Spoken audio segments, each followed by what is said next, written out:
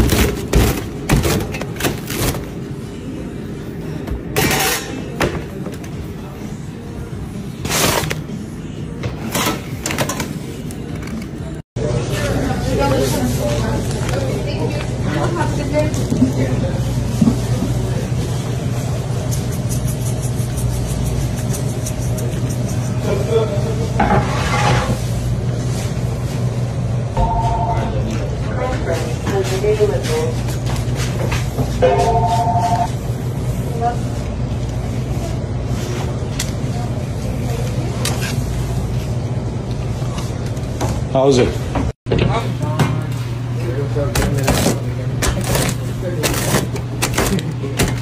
right. I'm not wrong, right?